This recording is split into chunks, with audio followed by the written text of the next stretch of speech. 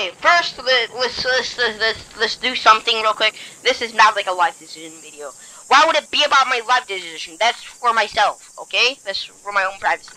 This is about Mad City, of me starting new garden things. Nothing that special, nothing really that important, but I'm thinking about grinding for that thing right behind me that costs 4 million. I'm thinking about grinding for it because it's a tank and it matches my brother in Terminator. And I'm thinking about just grinding for it because I am bored of, of just shooting people in Mad City, sort of am bored, but I want to get something new. Well, I mean, I just got Nighthawk, like, actually, yeah, a year ago, or was it two months ago?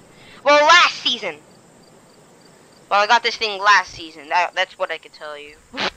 I, I can tell you that, I got it from last season, so I'm thinking about if, should I start a new grinding phase? And you guys, if you're like a friend, or a fellow YouTuber comrade, uh, comment down, or just talk to me if I should start a grinding phase for the Rhino.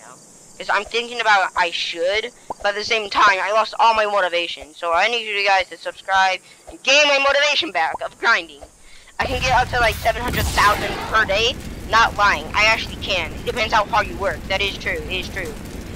I, I teach you guys my grinding phase 10 times. Better and neater videos. Uh, the graphics are terrible though. See, I can't even see it. There's the, the car. Can't even see the explosion. My computer's just messing me, messing my brain. So I need you guys to help me decide if I should get a new car and specifically grind for the Rhino, or grind for something else, or just don't grind anymore. And so I'll see you next time on Crazy Bros 800. Hope you enjoy our channel, because we need more viewers and subscribers.